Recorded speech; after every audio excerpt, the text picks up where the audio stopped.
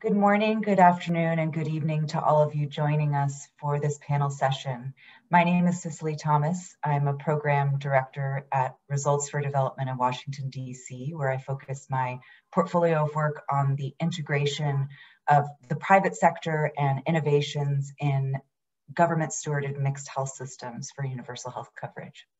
It's my pleasure today to be joined by several panelists for this um, fascinating panel on the application of machine learning approaches in resource constrained sessions. During this session, I will quickly introduce the panelists. We will then hear from, from them um, about their papers and we will have a Q&A session at the end of, of this time. Please, if you have um, difficulty during the session, you can put some, you can, you can request some support in the chat. I also encourage you to include questions during the session in um, the question function on the platform. I will be reading and curating those questions for the panelists at the end of the presentations.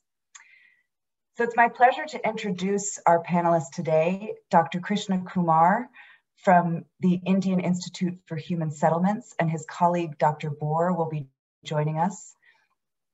Dr. Elizabeth Miranda, who is an integrated vascular surgery resident at the University of Southern California and a Paul Farmer Global Surgery Research Fellow at the Harvard Program in Global Surgery and Social Change. Dr. Pratap Kumar, who is a clinician, neuroscientist, health economist, and social entrepreneur working at the interface of health scientists and healthcare markets, based at Strathmore University Business School, and his colleague, Dr. Sa uh, Sathy Rajasekharan, who will also be joining for the Q&A and presenting on this panel. Dr. Priya Balu is joining us from the Public Health Foundation of India and her colleague, Dr. Cloma, Venus Cloma Rosales will also join as well.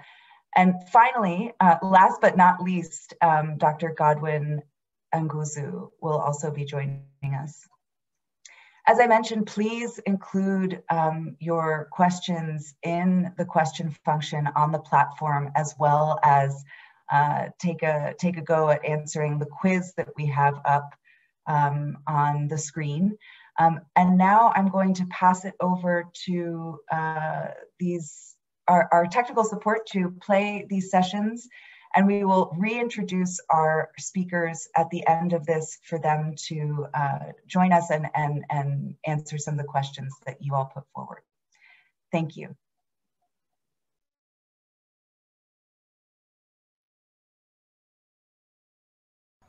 Welcome.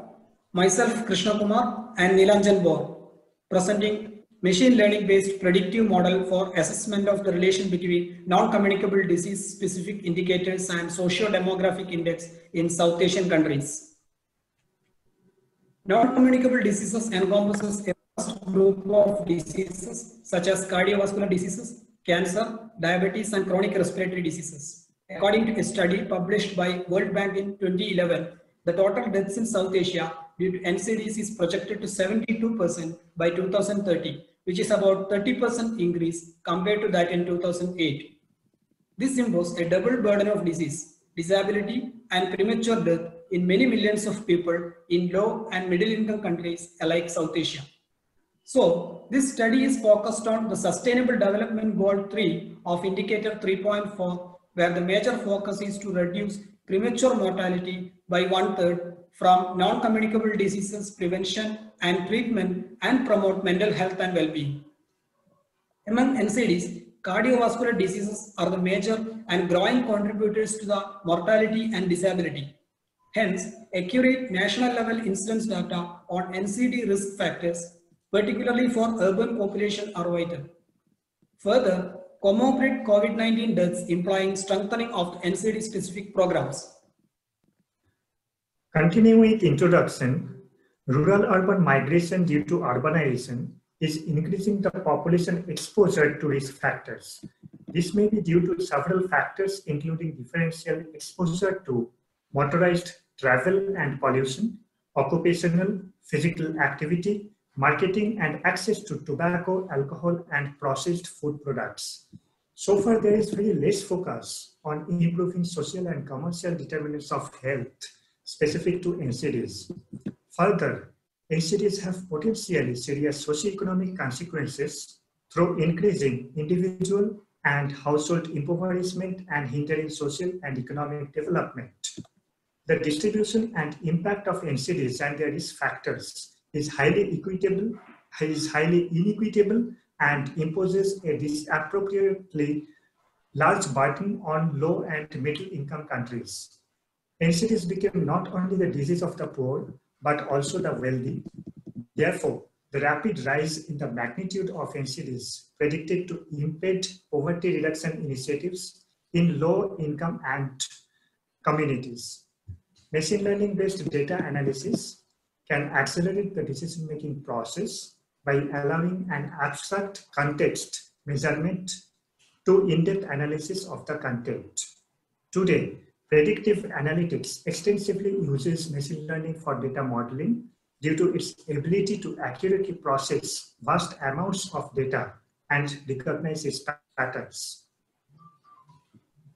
Coming to the methods, the global burden of disease study is the most comprehensive worldwide observational epidemiological study.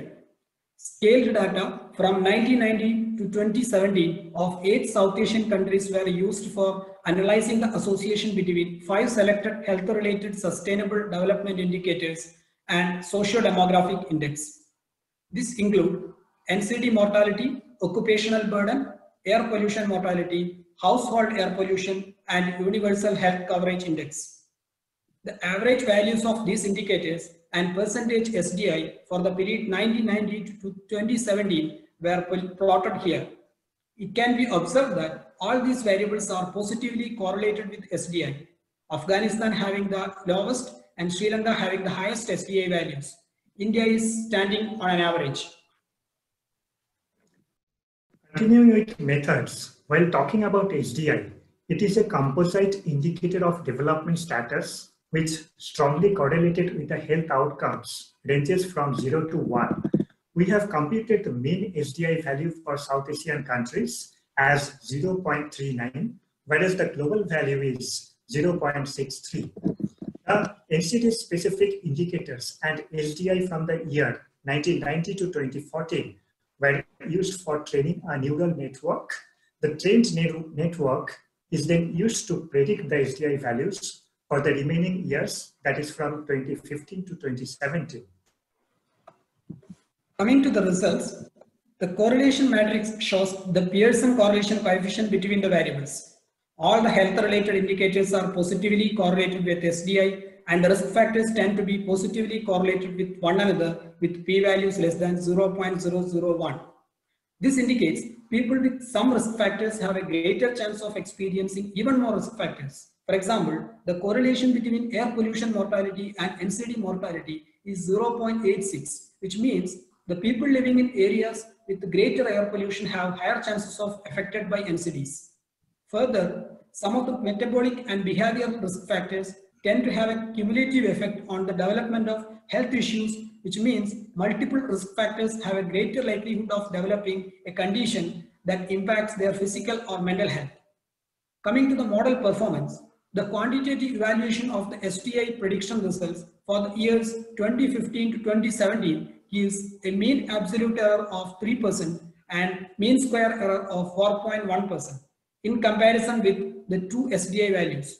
Further, a Pearson correlation coefficient value of 0.96 between true and predicted values of SDI and their distribution in the scatter diagram shows the potential of the machine learning model in dealing with multi-country and multi-ethnic data.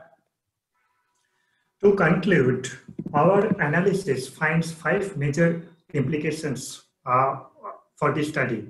Firstly, it was found that NCDs were very less researched in South Asia region and it was difficult to pull dataset to perform data analysis using machine learning technique. Further, secondly, there is a need for country level data, especially data from urban areas to improve decision making to prevent NCDs at local and regional level. Thirdly, improving country level surveillance and monitoring must be a top priority in the fight against NCDs. Fourthly, besides targeting NCD behavioral and metabolic risk factors, it is essential to improve the social and commercial determinants of health, also contributing to NCD mortality. Finally, during the COVID-19 pandemic and beyond, it is required strengthening of the health systems to address the double burden of disease by improving public health funding, infrastructure, health workforce, resources, and local governance. With this, we conclude our presentation here and thank you very much. Thank you.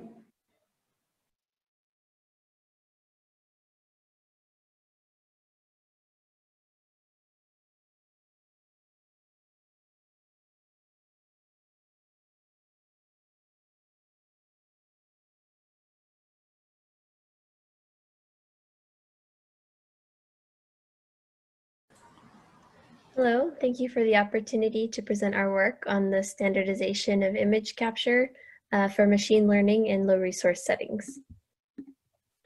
We'd like to thank the following for making this research possible.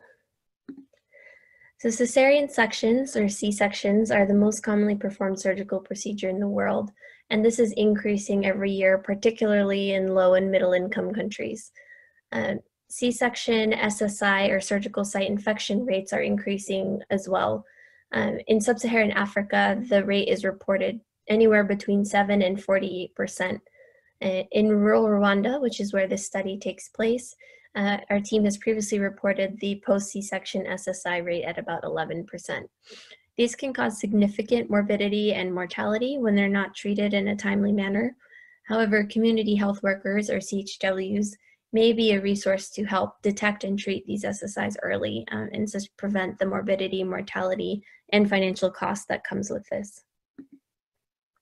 Another tool that could possibly be used to address this is uh, our image-based algorithms, which are developed using machine learning. And these machine learning algorithms can help fill diagnostic gaps that are seen oftentimes in low and middle income countries or LMICs. The photograph on the right is from previous work done by this group which used about 500 photographs to develop an algorithm that would predict whether or not women would be diagnosed with SSI or no SSI. And it used characteristics of the photographs that were taken, such as the lightness, the blueness, and the redness, um, to predict this diagnosis. And as you can see, the the algorithm was very successful, highly sensitive and, and specific in predicting SSI diagnosis. Um, however, in order to develop these kinds of algorithms, uh, you need to be able to standardize the images that are used to train the algorithm. And if the image capture process is not standardized, this means a huge amount of time and resources uh, of manual processing in order to use these images for the algorithms. This is further complicated in LMICs where training and personnel uh, are even harder to come by at times. So the goal of our study was to develop a standardized method of image capture to develop a machine learning algorithm specifically to predict SSI diagnosis after C-section. And this was for women at a Kirehe, at, at Kirehe District Hospital in rural Rwanda. Rwanda is a small country in East Africa with about 12 million people. The photograph on the right shows Kirehe District Hospital. So all women at this hospital who underwent C-section between September of last year and February of this year were enrolled our study process is outlined here and you can see the different time points at which photographs were taken. So the first was by study data collectors at postoperative day three, which is about when most women were discharged home. On postoperative day 10, CHWs would go to the patient's homes and take photographs there. And then finally on postoperative day 11, women would come back to the hospital where they were assessed by doctors or general practitioners.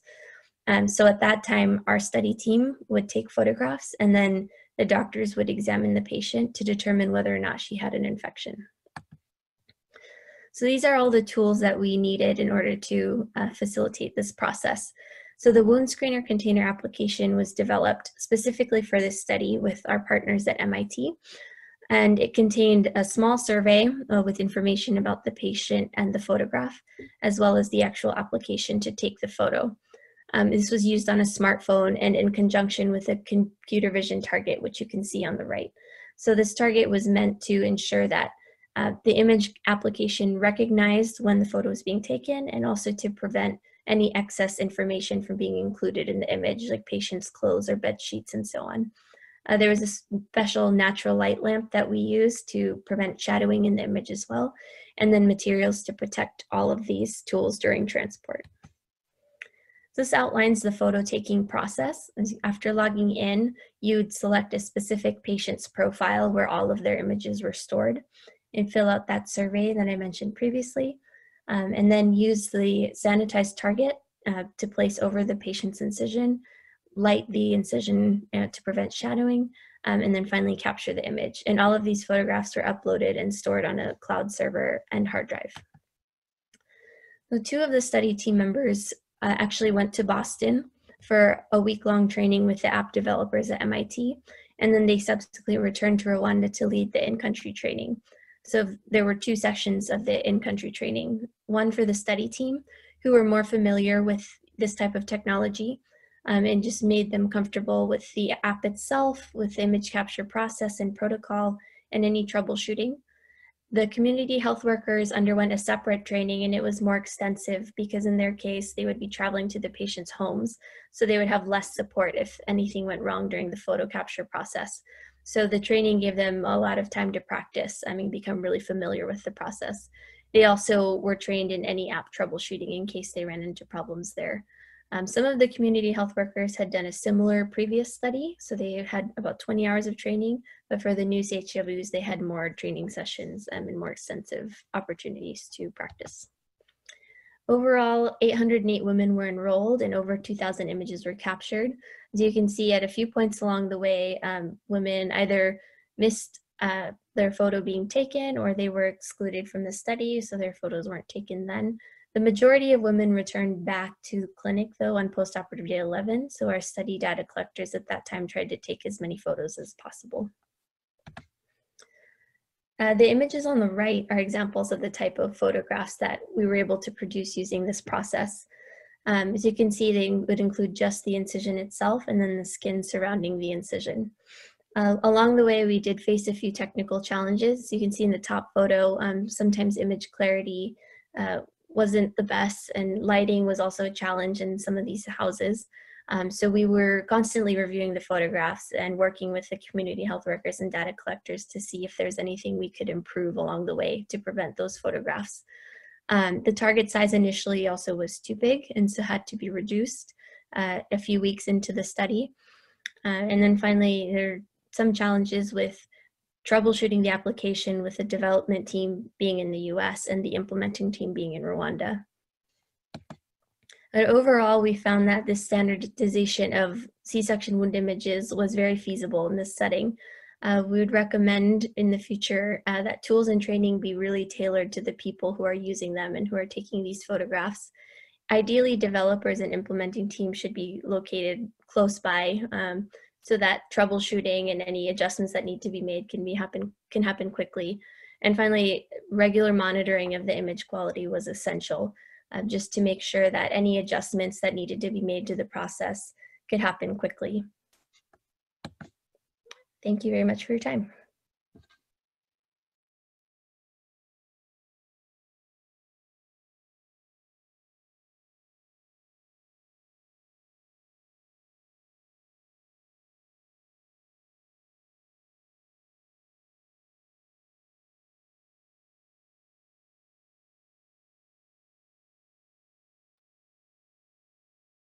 Hi, everyone. My name is Pratap Kumar. I'm the CEO of Health-E-Net, and I'm here with Sathy, the CIO of Jacaranda Health. And we're here to present our work that combines artificial intelligence, specifically machine learning, with some mHealth approaches to support pregnant women in rural Kenya.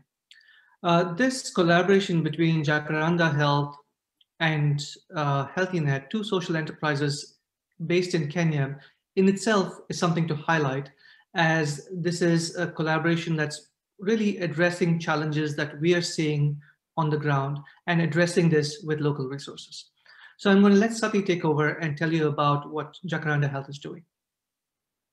Great. So thanks, Pratap. So as Pratap mentioned, uh, both our organizations work in Kenya, and one of the biggest challenges um, in maternal and neonatal health service delivery is that pregnant women and new mothers aren't getting to care at the right time or at the right place. Um, so on one hand, mothers may not be empowered with information. They might not, may not realize they need to be getting to care. Um, and on the other hand, the referral processes are challenging. So if a mom goes to one facility, she may be told that care is not available at that facility and she needs to go to another hospital, wasting valuable time in terms of providing urgent care. At Jacaranda, we uh, have a digital health platform, which is called Prompts, which is designed to get moms to care at the right place and the right time. So from a user perspective, Prompts is a simple two-way SMS messaging platform. Moms get information about their pregnancy or about how to take care of their newborn, um, and they're able to ask questions uh, of the help desk agent. Um, so they send in a question to the agent who may route them to care if he or she feels that additional support is required. At this point, we're at 300,000 moms enrolled on the platform, and that means we're re receiving almost a thousand questions a day. So one of the, the problems we encountered as we were scaling up is we're getting thousands of questions a day. How do you triage those questions to identify what we call the red flag questions? So those questions that are about bleeding, for example, that need to be answered uh, within a very short period of time before a question that's more general in nature about nutrition, for example. And so we use machine learning, uh, specifically natural language processing, to sift through those messages, uh, identify the subject matter, and prioritize them for our help desk agents, who then answer those questions and refer them on to care. But when it comes to referral, um, we also realize an additional layer of support is required. So that agent, you know, in this case study that we're sharing, may may inform the mom that you know bleeding is a danger sign she needs to go for care but that mom may be reluctant. And what becomes critical to resolve the issue is connecting that mom with a healthcare provider at the facility. So this handover process is incredibly important. And what we realized is as more and more of these cases were coming up that handover needed to be structured. So documentation of the issues of related to the case had to be set up in a very, uh, very structured format. And then it needed to be communicated in a relatively simple format.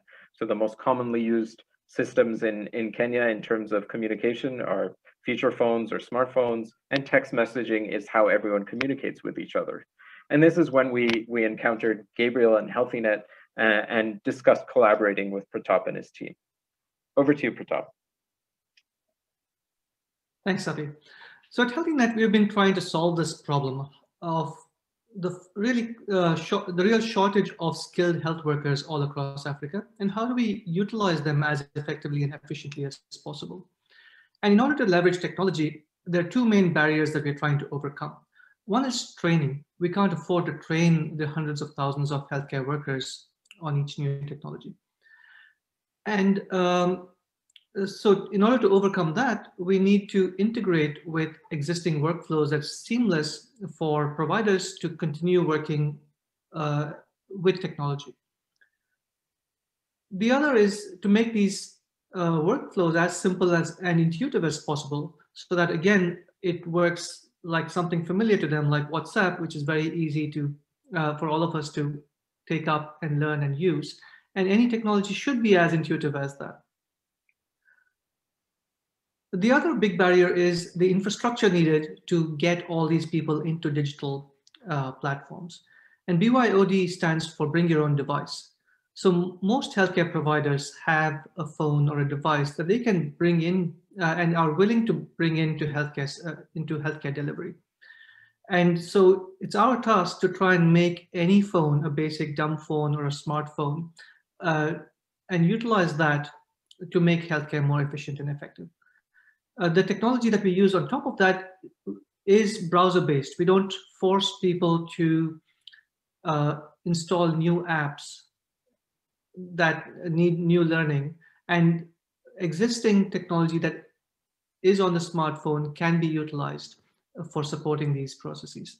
And of course, everything needs to be offline first uh, because of the bandwidth challenges. So the next slide, we have a brief uh, overview of how this technology works for different people in a schematic. So patients with a basic phone can send a text to a nurse who can text or call back Uh, they can document cases which is sent as an SMS link to a doctor with a phone who reviews the case on their device, uh, sends a link for a video call or a basic call uh, to the patient. Information was also sent to labs and pharmacies who can complete the circle with some deliveries. Uh, so using this technology, we've done uh, supported healthcare delivery all across Kenya. So in the next slide, you see that we have supported over 200 consultations all, of, all over Kenya uh, with minimal upfront costs for a wide range of primary care consultations. And our study in Turkana showed that this ability for healthcare providers to work digitally with their patients and remote providers really increases their morale and interest in supporting healthcare locally. So I'll let uh, Sathy take over and tell you what we've been doing with Jacaranda Health. So what we've, we've been able to successfully set up is the, the infrastructure to support referrals for maternal emergencies or neonatal emergencies. And so on the left, what you see is what a provider um, may see on their phone, which is a notification that a, uh, an emergency case has come up uh, and that person has been contacted, the case has been discussed, and then you also see when the, the client arrives at the facility. Um, on the right-hand side, you see the kind of structured information that's essential for a provider. So maybe a case summary, um, documentations for reason for why that person needs to be referred, and then a sequence or a timeline for what's going on with that client. All of this information is happening real time. And so where we are right now in terms of the collaboration is this, this, this is active, this is being used by providers uh, across two counties in Kenya, um, and we're seeing the cases come up and be managed successfully. And as time goes by, we'll start to look at you know, what the impact is in terms of successful referrals and health outcomes. And so just to conclude, um, to sort of highlight the, the reasons why this co collaboration has worked. Um, first, it's local. Um, you know, we were able to, to get up to up and running with, with a prototype within the matter of one or two months. Um, there's contextual insight in terms of knowing what devices work, what what backend servers and systems to use. Um, and we're able to use sophisticated technology like machine learning with our local team um, and local capacity to actually integrate it within the solution without ne needing external help. And, and that's been incredibly successful in terms of getting the solution quickly off the ground and into the hands of providers and mums and help desk agents. Thank you. Thank you.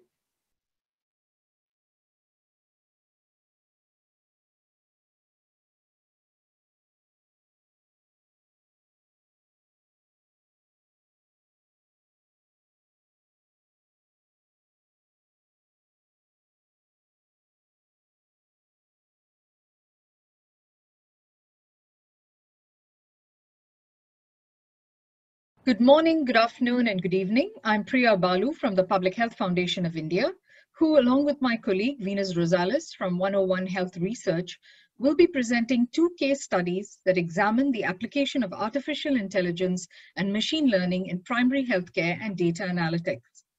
Artificial intelligence is not one single, but rather a collection of technologies supporting a range of specific processes and tasks Healthcare organizations are increasingly experimenting with AI in improving health service delivery, access, and quality. Our first case study examines a cardiac risk model developed to improve population health and provider effectiveness. This case study is from a health technology firm in India provides primary health care through nine hub clinics and 33 rural spoke health centers across seven states. The company provides a range of preventive diagnostic and curative services through a technology-enabled platform that supports the integration of discrete digital health services and devices. The challenge iKure wanted to address in its rural health model was the fact that heart diseases constitute more than 2.1 million deaths in India. Using its wireless health information system platform, iKure partnered with IBM to develop a cardiac risk assessment model to identify patients who were at a higher risk of an adverse cardiac event within a certain period and refer them to a hospital for further investigation and treatment. A cardiac risk model was created by combining data, AI, and machine learning with ECG signal anomalies to assist doctors in offering preventive care much faster in the diagnostic cycle. For this, The AI-ML algorithm was trained with basic patient data parameters of 50 patients that included gender, height, weight, blood pressure, etc., which was then overlaid with ECG data with 14 possible outcomes, creating about 700 patient data points. Using this, a two-step model was developed. First step used basic patient history data where iKure's referral team of cardiologists prepared a preliminary ranking of cases that were a high risk for cardiovascular disease. In the second step, this was overlaid with ECG data captured from patients, which was shared with clinicians who then reprioritized cases at risk for CVD as high, medium, and low. Using this data overlay, the IBM Cloud Pak platform could stack rank and prioritize cases before and after ECG data was available. With the addition of new patient data, IBM could classify ECG data as normal or abnormal and develop high-risk patterns which could potentially predict a cardiac arrest in patients at a much earlier stage. So what are some of the findings and challenges? One of the interesting aspects of this model was its ability to detect algorithmic bias, which is the prediction of a greater likelihood of a disease on the basis of indicators that are not actual causal factors. In this case, a gender bias was flagged with more male patients being categorized as having a higher risk for CVD.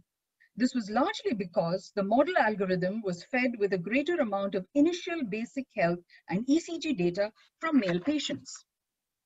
The model also demonstrated 90% accuracy for 100 patients that were screened. It helped build a decision support system for cardiologists with greater transparency that handles bias. It also demonstrated flexibility to apply AI capabilities to a wide variety of data sources. The scope of the project, however, was to build a model which left challenges in validation. Demographically diverse data was required to improve the uh, accuracy of the model. To overcome algorithmic bias, there was a need to train the algorithm with higher volumes of ECG and basic health data with a greater sample size of at least 1,000 patients. Regulatory requirements also needed to be addressed, such as data ownership, privacy, and security. I will now hand over the presentation to Venus, who will present Philippines country case study. Over to you.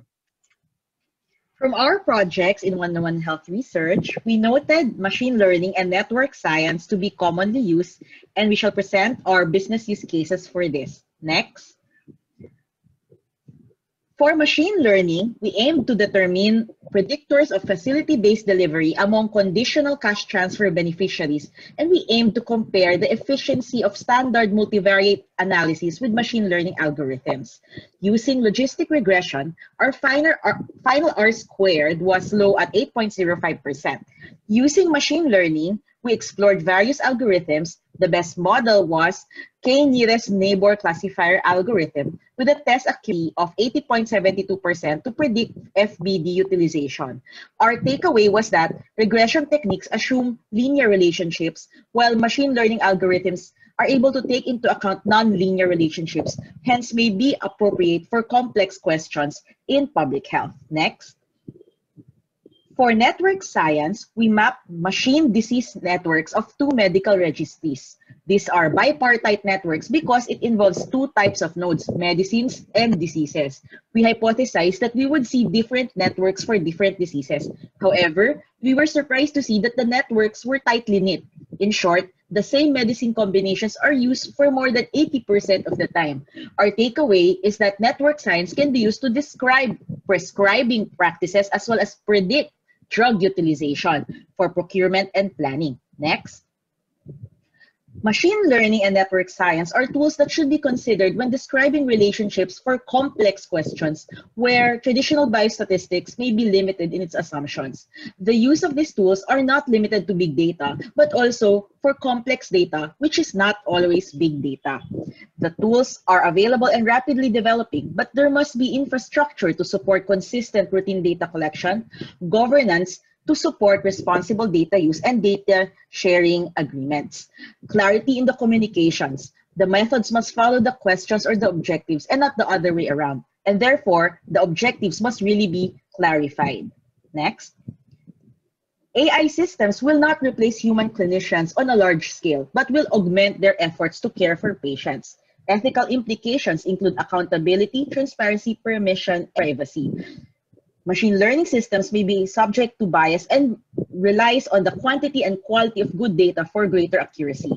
With all these changes in AI in healthcare, it is important that institutions and regulatory bodies establish structures to monitor key issues and establish governance to limit negative implications.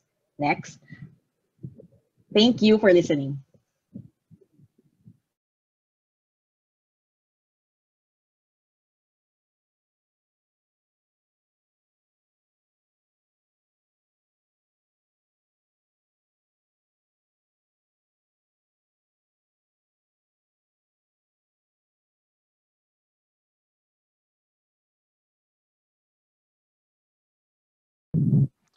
Right. Uh, thank you very much. Uh, my name is Godwin Anguzu, and I'm presenting from uh, uh from Uganda. I work with Infectious Disease Institute in uh, Kampala, Uganda.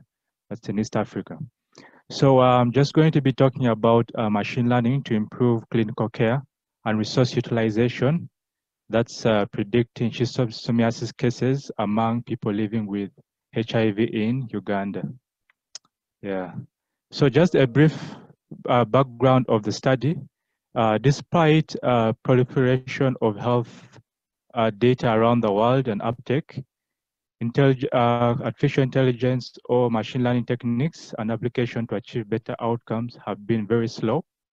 In low and middle income countries, which uh, hold the greatest burden of disease progress, has been even lower, despite the potential for such techniques to uh, for such techniques to inform the, the most effective use of limited resources in unique populations.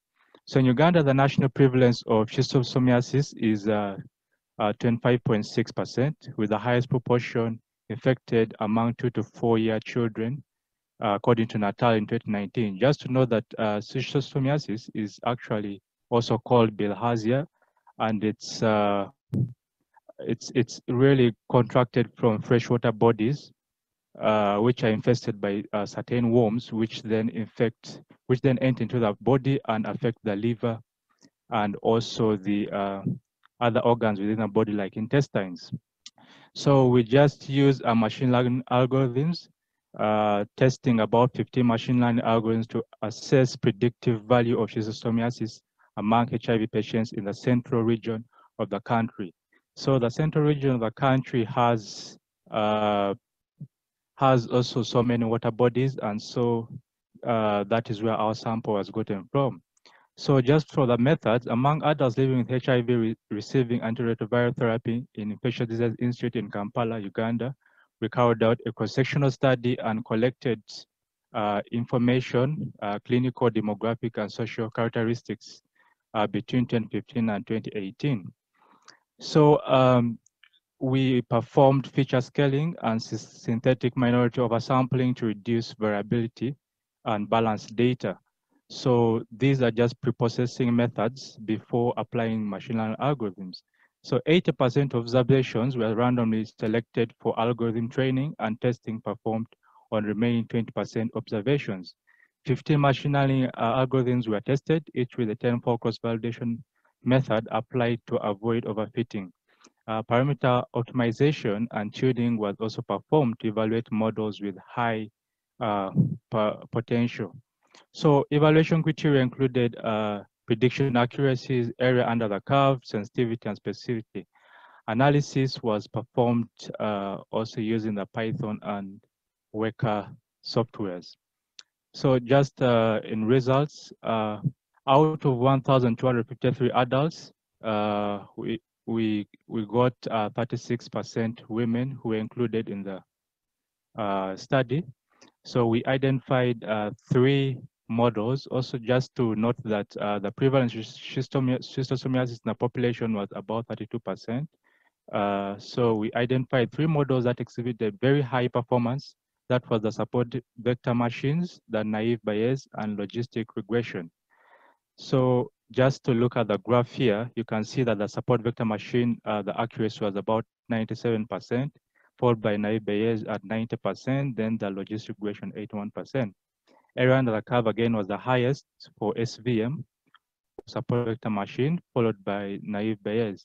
Sensitivity highest was uh, naive Bayes, followed by support vector machine, and specificity highest was support vector machine. So overall, we can see that the support vector machine performed uh, highly uh, in relation to all the other methods that we used. And so just to continue the results, uh, using the SVM, we found out the most relative important features uh, which help to predict uh, schistosomiasis in this unique population in a clinical setting.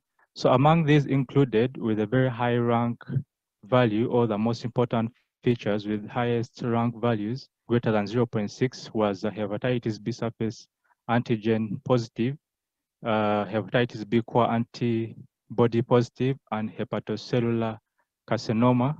We also had the jaundice, uh, which is yellowing of the eyes and uh, the skin, uh, palpable hepatome hepatomegaly, which is also like uh, largening of the liver. And we say that schistosomiasis really affects the liver and other organs in the body. So also another risk factor which we identified was occupation. Uh, you can see that the fishermen, uh, hoteliers, shop food, vending, and mechanics, these are mostly occupations which are carried out along the fishing uh, community or the freshwater bodies. And so uh, those are very important factors which really created uh, schistosomiasis or predicted schistosomiasis in this population. So uh, just to conclude that machine learning techniques exhibit, exhibited very high performance in predicting schistosomiasis cases among people living with HIV. We present a methodology really for uh, testing a variety of algorithms on a real world healthcare data in a low income setting, selecting those best suited for the population and successfully identifying individuals in need of attention. So in contrast with the one size really fits all approach often utilized in global health interventions and policy making, we suggest such techniques can be really applied to clinical and public health interventions to guide the allocation of limited healthcare resources in a personalized manner to diverse populations around the world. Uh, thank you very much uh, for hearing.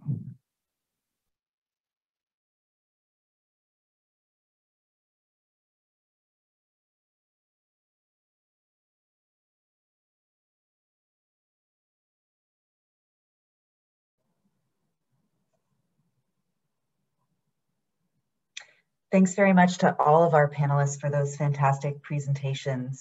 Really, really fascinating um, ex examples of, of machine learning. So we now have about 30 minutes to enter into a Q&A um, session with our panelists. And as we enter into this session, I, would like to invite the panelists to turn on uh, their cameras and, and audio as they answer some of these questions. First, I'd just like to reflect on some of what we've heard during this session and ask a few questions of the panelists, um, and then go to what we see here um, in, in the questions coming up from, from those of you attending. So some really interesting things that I'm hearing across all of these presentations about machine learning and the benefits that it can bring to um, to not only the processes for providing health services, but also health outcomes in, in some instances. I think we're hearing a lot about um, the efficiencies that this brings. We're, we're talking about uh, resource constrained settings, and several of the presenters mentioned um, allocations. For instance, that last presentation talking about allocation of, of limited resources based on the predictions of the machine learning. Um, others are, are talking about um, leveraging and using human resources for health in a, in a different way based on the predictions of, um, of these machine learning techniques, either for, for diagnosis or prediction of, of where uh, a particular disease occurs. Something that's really interesting is, is just how diverse um, these technologies are in, in the types of, of health, um, healthcare and diseases that they are uh, focusing on. I mean, we heard about several delivery um, technologies, cardiac, NCD, schistosomiasis, and other infectious diseases. really fascinating. Um, and I think some of the questions that I have really focus on um, this question around integration and how now do we, uh, knowing some of what we know from the technologies and the machine learning that you all have studied, how do we see this um, integrating further into the health system and being scaled up in the health system? And I think there are questions clearly of um, behavior change, of um, finance, of uh, governance. So I, am very curious to hear from, from some of our panelists along those lines. And I, I believe we have a question similar to this. I might start with you, um, Dr. Miranda, um, and the Rwanda work. Um, you mentioned a lot about the capacity building that was done and the training um, to operate this uh, this technology, this this um, photography technology, if you will.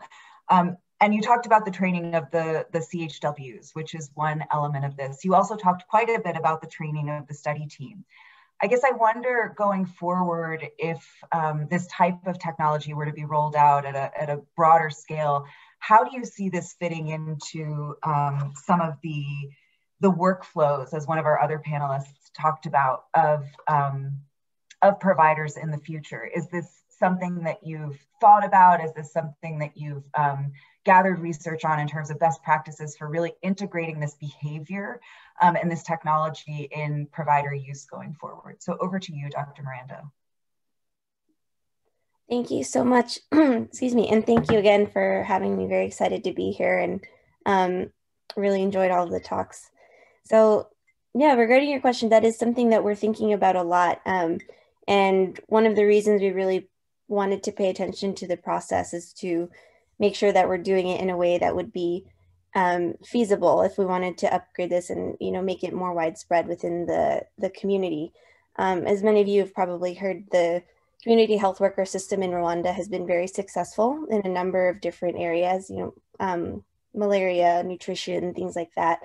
Um, our focus obviously is maternal health and specifically looking at postoperative care to see if that's something else that could be integrated um, into their work because their reach is so expansive. They were able to, you know, help reach out to patients in very remote areas who otherwise maybe wouldn't access care as quickly. So this is something, you know, part of our goal with this study. Um, it included a number of different different um, kind of sub studies within it, but the goal was to see if this is something that would be feasible both from a network standpoint, you know, within the country, is this something that can be supported and where they would be able to use these photos um, in all these various regions within the country, but also um, on the community health worker level, because they're involved in so many different projects, does this fit in their current workload? So as part of that study, we are we did a qualitative component, which hopefully will be out soon, um, asking that of the community health workers, like, is this something that you could take on in addition? Um, and, you know, we're still analyzing the results, but in general, just anecdotally, the response was very positive. Um, so that's part of what we're thinking of moving forward as we develop this. Um, is it feasible? Will it fit into their workload? And what's the best way to, to roll it out? Um, and something that's very exciting too is the, the Ministry of Health of Rwanda actually has put in an order for, I think it's over 40,000 locally made smartphones to be distributed to all of their community health workers. Um, so these technologies like this this image-based one, but also ones that have been talked about on the panel today could um, hopefully be integrated um, and be accessible to the community health workers throughout you know all the villages in Rwanda and, and in other countries as well. Thanks very much, Dr. Miranda. That's that's fascinating, and and we'll look forward to that forthcoming research. Um, those qualitative studies sound like they will really help understand um, the system on the ground and, and how this can be integrated. I want to go to our colleagues in Kenya, um, Dr. Kumar at Strathmore, and I believe Sathy, your colleague, is also online. I'd like to hear a little bit more. You mentioned quite a bit about um, the need to, to leverage um, local expertise, um, and you talked about how you are leveraging um, the system. I guess one, one thing that I'm really curious about is how do you understand the context and, and particularly the assets and, and tools that you have to work with when you're thinking about developing not just the technology, but also the process for the technology. And, and maybe I can give a better example of that. So thinking about, you know, who was in the system to begin with to be able to triage um, these questions and then to be able to identify those providers that could could help with those answers maybe you could talk just a little bit more about the developing of this technology and process and, and how you do that. Uh, sure. Um, and thank you for the opportunity. Uh, and so I, I, off the bat, I'd like to say that uh, we find it much more hard to develop these processes and the technologies for use of machine learning uh, than the actual use of machine learning itself. Uh, so it's much more accessible right now to be able to take some data, put it through a machine learning algorithm and get some kind of classification happening. That's the easy part. Uh, the difficult part is getting these to be used uh, practically on the ground uh, with the kind of technologies that are available to the healthcare workers and their abilities. And so uh, that's the challenge that is different for each type of application of machine learning. And um, so for example, for this specific uh, project with trying to understand what symptoms need to be referred to um, to the nurses and the healthcare professionals, the machine learning algorithm of uh, classifying SMS messages into um, a danger, danger sign versus a not so uh, urgent sign, uh, that uh, has been relatively simple. I mean, no, um, uh, don't want to uh, put down anything that the machine learning algorithms actually need to do, but now taking that into a meaningful clinical workflow is also a big challenge. Uh, and so what we've been doing is to try and say, how does a nurse who is on the ground, um, uh, who gets some of these messages, how best can she summarize this information to share it with somebody else? And so we've been using some handover techniques uh, that match up with future machine learning approaches. So for example, we use an SBAR uh, communications and documentation approach uh, stands for situation, background, assessment, and response.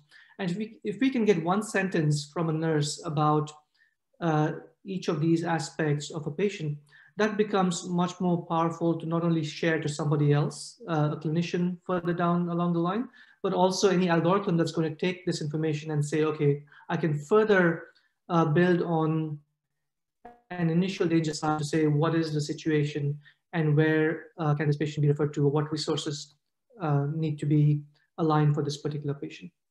So it's a uh, it's a lot about matching the algorithm with the actual workflows, clinical knowledge, and the devices that they have with them. Thanks so much. That's really interesting and, and sounds like you are really assessing um, what you have to work with and, and then uh, leveraging that, um, that asset to be able to design this tool. I want to go now to our colleagues, um, Dr. Kumar and uh, Boer, as well as um, our, our colleague in Uganda, Dr. Godwin. I think both of your presentations um, brought to mind to me that, that, first of all, this is very um, rigorous uh, studies that you've um, conducted and, and really interesting outcomes, both about um, NCDs and infectious diseases.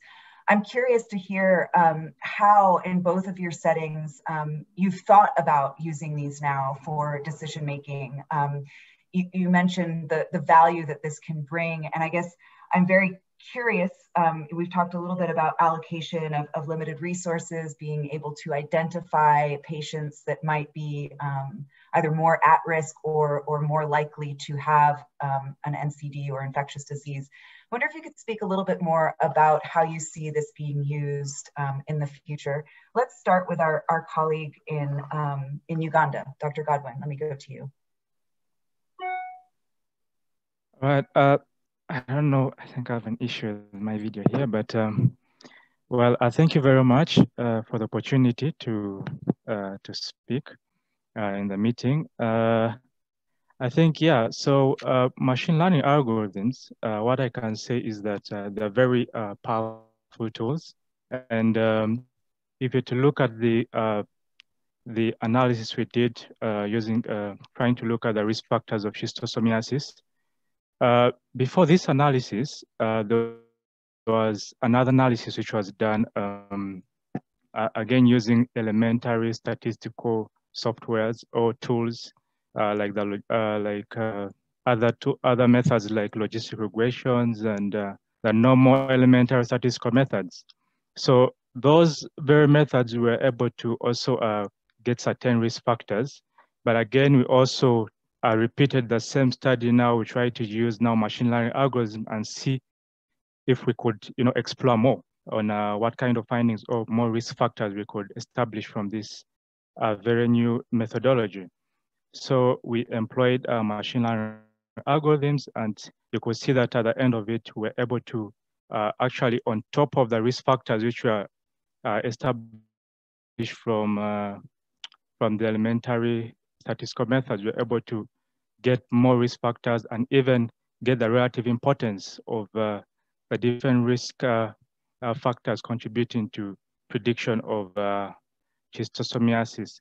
So what I can say is that some of the challenges, of course, uh, we are facing is, uh, you know, the, the, the data quality. Uh, you know, there's rigorous kind of uh, data analysis which is required there. And then if you're to see that uh, we use only data from the central region, and I think uh, large volumes of data which could incorporate the northern, maybe the eastern side, the western side could contribute more and stronger information. And this is something which I believe uh, machine learning algorithms are really uh, good at if we could really uh, expand this analysis uh, to, to, to bigger volumes of data. And so uh, I think machine learning algorithms in this case really uh, have really helped us to establish something which is really going to impact on the future especially in Uganda, it's, it's, it's a new thing. People are studying every time to be able to really uh, come up with more uh, better and efficient ways of, of, of working on, on, uh, of working on, uh, uh, of, of utilizing data and big volumes of data. Yeah, thank you very much. Thank you, Dr. Anguzu. And, and just a follow-up question, it looks like we have a question for you here. What, which data sources were you using for the schistosomiasis study? Come again? The data sources for your study. Yeah, so the data sources we use for our study were really mainly at uh, the central, they are at Infectious Disease Institute, which is in the central part of the country. So uh, patients would come, you know, within uh, the facility. These are HIV patients, but also living in these uh, these water body infested areas. So these are the, our main samples which we which we are using. Yeah, individuals from mainly the water uh, infested areas. Yeah, so we think expanding this to uh, to to to to the northern or other areas, which of course also have water bodies, would be would give us more information. Yeah, thank you. Great, thank you. So it sounds like it's patient patient level data that you're using yeah. there from, from, the clinics. Excellent.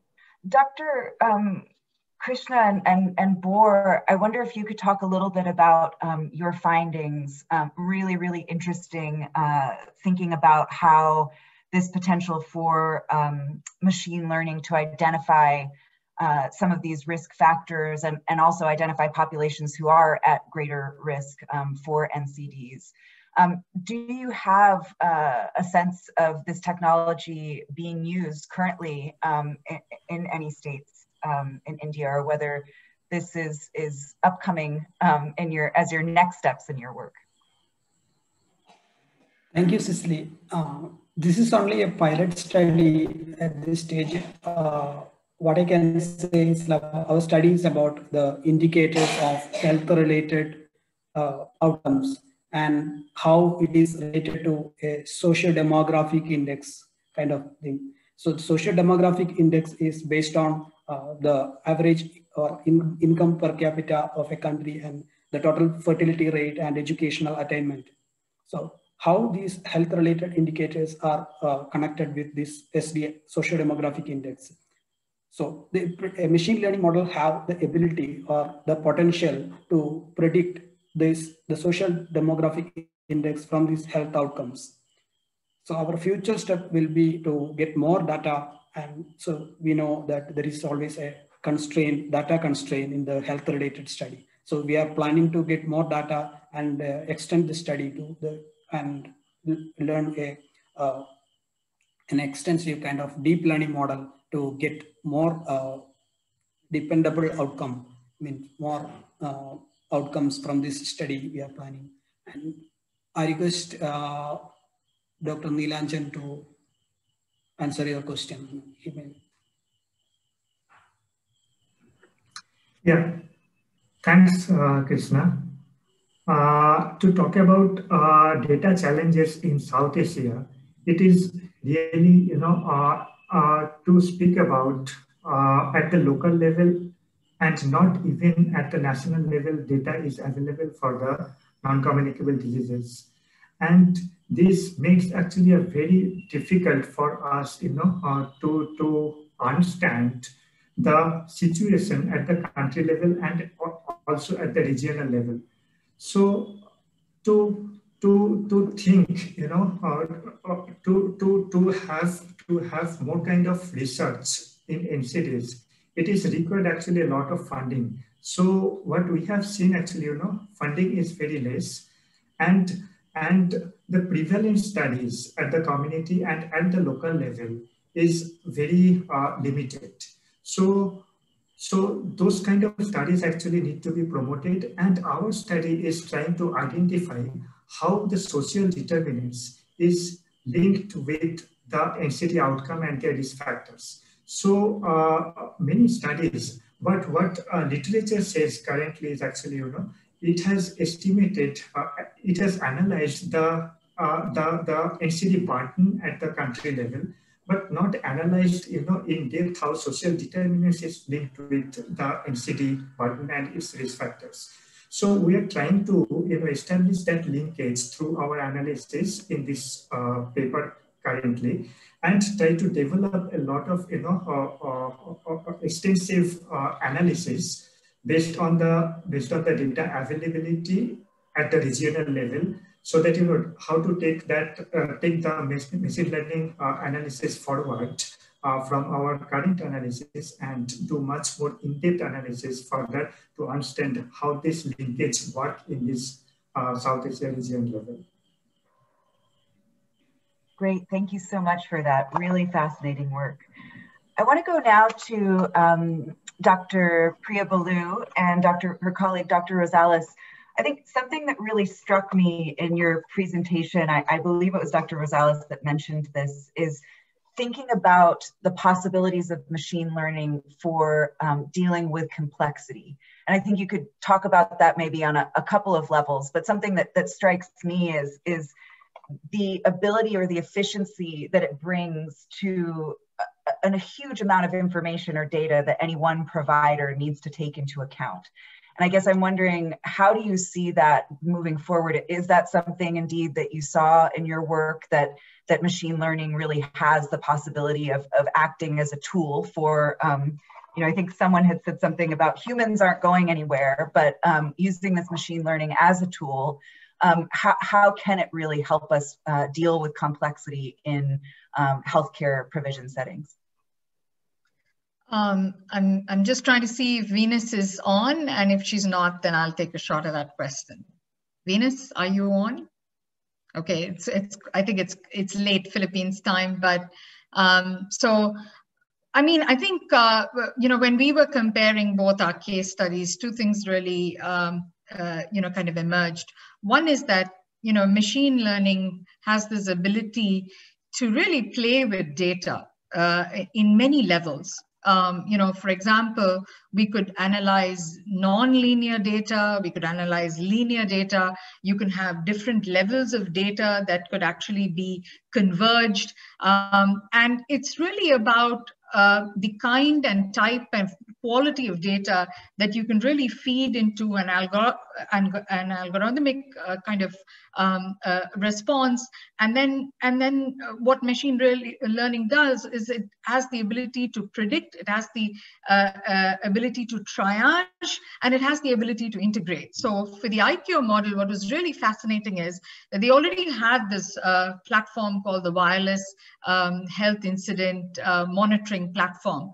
It was a patented platform that they used whereby they were actually already being able to um, kind of uh, integrate discrete technologies um, in rural and semi-urban areas. So they were already applying, say, uh, you know, eye care uh, technology from Oro Labs, which was being integrated into that platform. They had numerous devices, which was diagnostic, screening, um, and, and uh, devices that were used by community health workers to kind of monitor uh, populations already being in, uh, kind of integrated. What was unique about our model was that iKure then partnered with IBM that began to kind of use machine learning to see whether, you know, cardiac risk assessment could actually be triaged um, at a non-hospital level.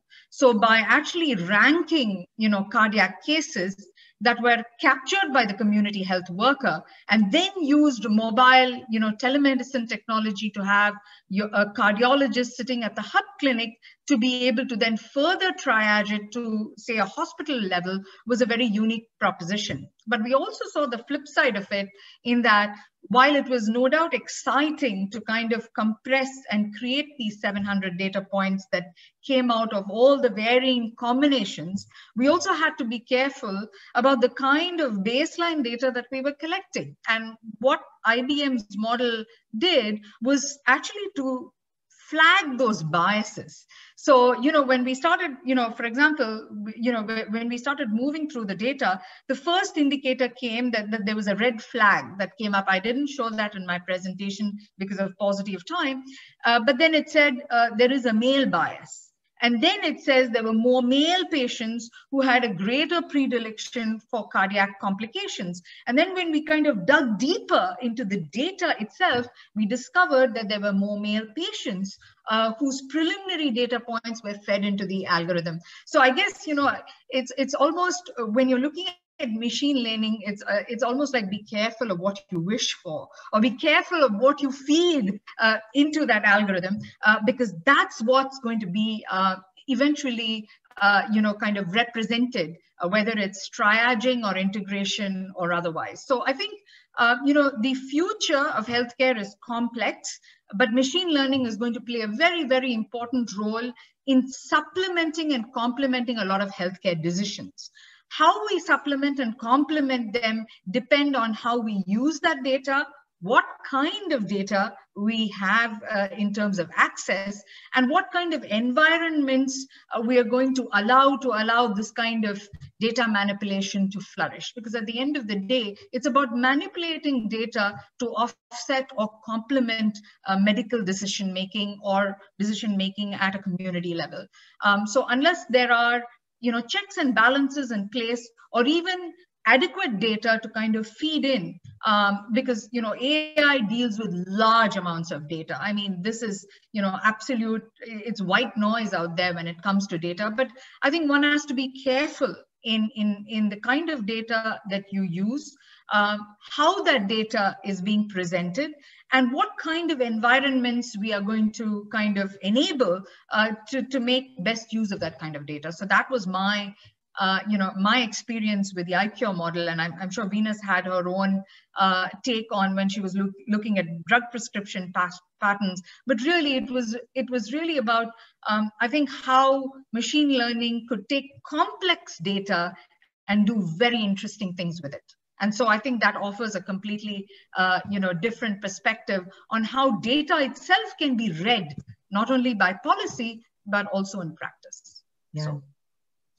Thanks very much, Priya. That's really interesting. And I think one of the most important points there is, is, is the, uh, the idea of is it good data to begin with? Um, it, what are we what are we looking at? The decisions that we're making are are only um, going to be effective if the data that we're using um, in this machine learning is is valid and accurate.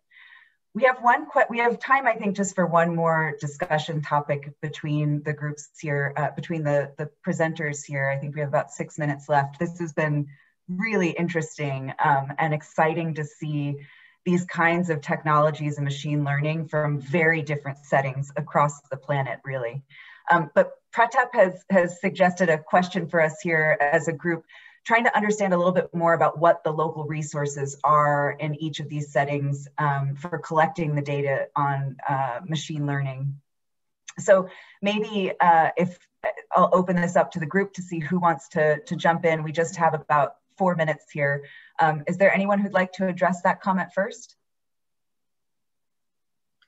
So the question is the use of local resources. Um, if Pratap, can you just kind of rephrase the question? Uh, sure. Uh, and um, uh, like many of the panelists have touched upon the need for data, good data, and uh, ideally local data, right? So you want data from the setting where you want to apply it.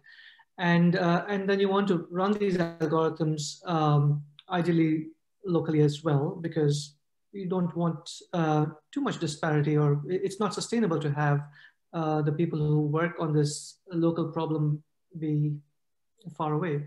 And so I was uh, pushing this discussion into the future of use of uh, machine learning to say how much can all of this be done locally, both the generation of the data and use of machine learning algorithms locally, instead of you know, relying on multinational companies uh, to do that, for example, or universities, for example. Well, I can take a shot at it. I mean, I, I think the fact that iKure is a local company and, and was able to look at you know, local data. So the data that was generated for the cardiac care model really came from a small village in Midnapur in uh, West Bengal. Um, so I think local data is available and is being increasingly used. Um, the challenge that I also see happening is that because uh, uh, you know, information technology and innovation using technology is so diverse and so dispersed. There are many chunks of local data being collected by, by you know, different providers across different spaces. So, you know, iKure is one provider, and then there are others. There's Readimi, and there, you know, so there, there are different I would say, fragments or silos of data being collected.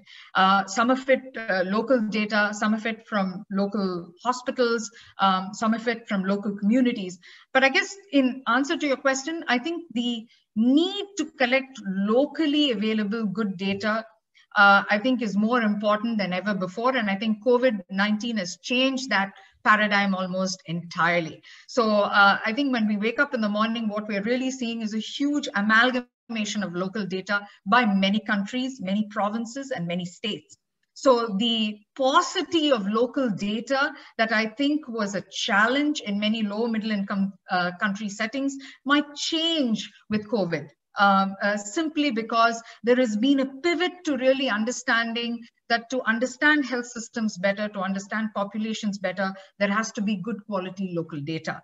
However, once that data is collected, what we do with that data and how we kind of uh, assimilate it, integrate it, um, and play with it, um, I think is a challenge that, that I think is, a, is an ongoing process uh, more than anything else. I don't think I have an answer to that.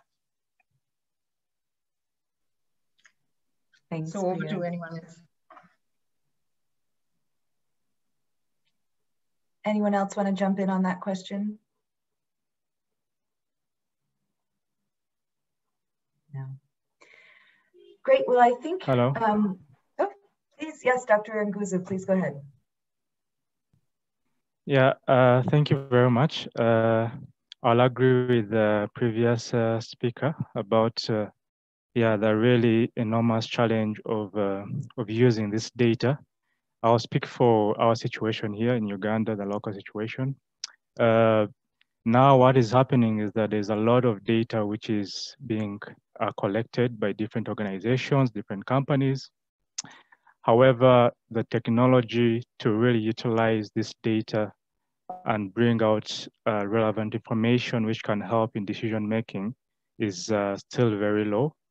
And uh, there are few people who are really uh, trying to embrace these technologies here. And uh, most people are just wondering what you know, how to utilize this data. Uh, initially, we did uh, this analysis using uh, elementary statistical methods, using elementary statistical tools. You realize that with very huge volumes of data, some of these methods can end up not converging. They don't converge. They, you know, but when you use machine learning algorithms, they're very powerful techniques with very huge computational power required and uh, you realize that it, this kind of computational power is again lacking. And uh, so in one of the algorithms which I was running, I, I, took almost uh, a week, uh, you know.